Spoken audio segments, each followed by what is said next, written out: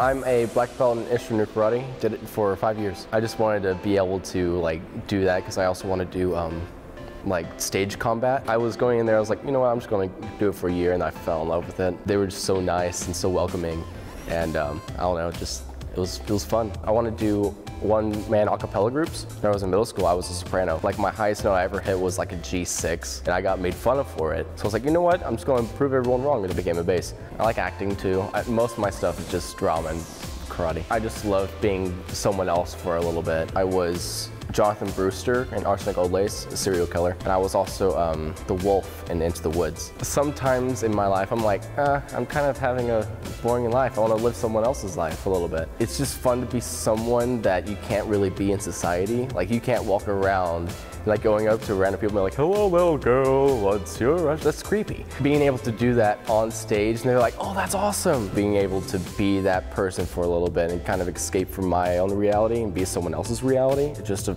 it's just a fun concept for me to do.